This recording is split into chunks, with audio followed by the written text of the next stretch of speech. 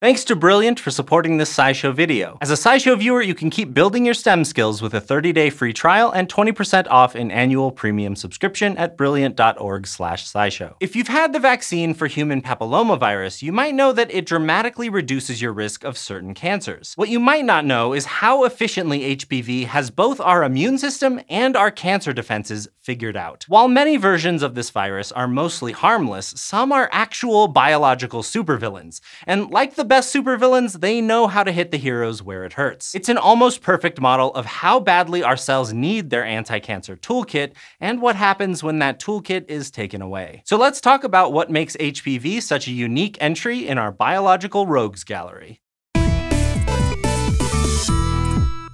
Cancer is when a person's cells begin to multiply rapidly and uncontrollably, like a rebellion of certain cells against the body itself. But our cells have a whole host of checks to that rebellion. If cancer is uncontrolled cell division, it follows that cell division is normally controlled. We have many of these so-called tumor suppressors, genes that keep normal, healthy cell division chugging along. The most notable of these heroes are P53 and the retinoblastoma protein, or RB. P53 is basically the guardian of your genes. Its job job is to patrol the nucleus of the cell, looking for any suspicious activity. This includes searching for damaged DNA, which can turn a cell cancerous. If P53 finds damaged DNA, it offers the cell a harsh ultimatum. Either you get well again fast, or send you to the gallows. That is, P53 figures out which cells can be repaired and which should be killed. It has the ability to temporarily suspend cell division and let the cell attempt to repair its DNA. If the repair is successful, P53 allows division to go ahead, but if not, P53 sends for proteins that will initiate programmed cell death instead. The other key tumor suppressor we mentioned, the retinoblastoma protein,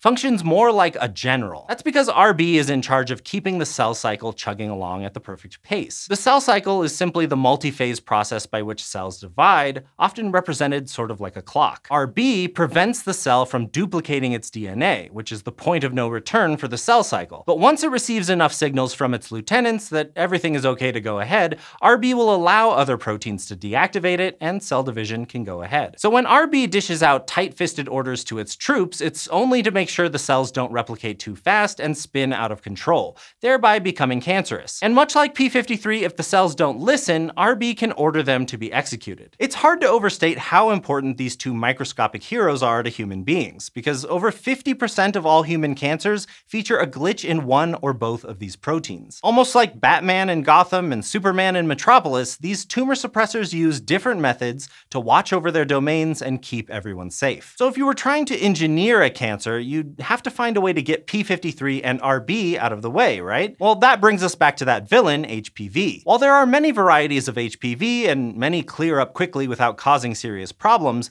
types 16 and 18 are the main cause of most cervical and certain throat cancers worldwide. HPV infiltrates the body through a tiny wound or abrasion. It then dives deep into the skin and hijacks the nucleus of a stem cell living there. And then, like the worst Airbnb renter, it starts using the cell's own equipment to replicate and spread copies of itself to neighboring cells. Now, normally your immune system would be the first line of defense against a virus, but that's where this virus gets especially nasty. See, HPV has developed a way to avoid the immune system that just so happens to also turn cells cancerous. Now, I know what you're thinking. Shouldn't our tumor suppressors come to rescue the cell from this hijacking? Unfortunately, it's not that simple, because like all movie villains, HPV has a secret weapon. The virus starts to make two proteins, E6 and E7, and these goons loiter around the nucleus and the cytoplasm looking to cause trouble by binding to certain healthy cellular proteins. They're especially good at sticking to our tumor suppressors, P53 and RB, and inactivating them. So when they meet, our heroes are as powerless against these proteins as Superman facing kryptonite. To add insult to injury, E6 then turns on telomerase. This little enzyme keeps the ends of our chromosomes stocked with enough genetic material to constantly replicate. So with the body's caped crusaders neutralized and cells able to ignore all damage and divide without limit,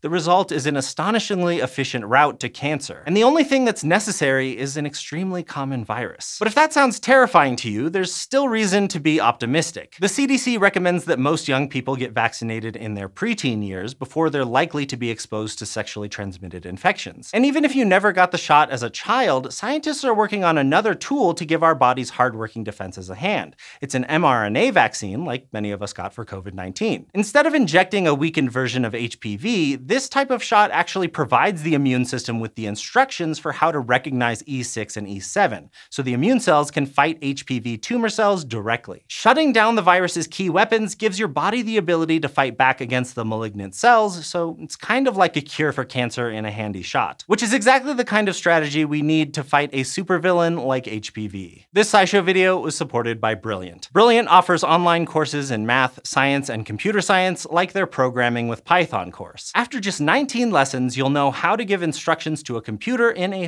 whole new language. Kind of like how the HPV shot gives your body instructions for how to fight E6 and E7 proteins. And after taking this brilliant course, you'll have the tools to do so much more, from coding video games to visualizing data. To get started, head to brilliant.org slash scishow or hit the link in the description down below. You'll get a free 30-day trial and 20% off an annual premium Brilliant subscription by using that link, and thank you for watching this SciShow video.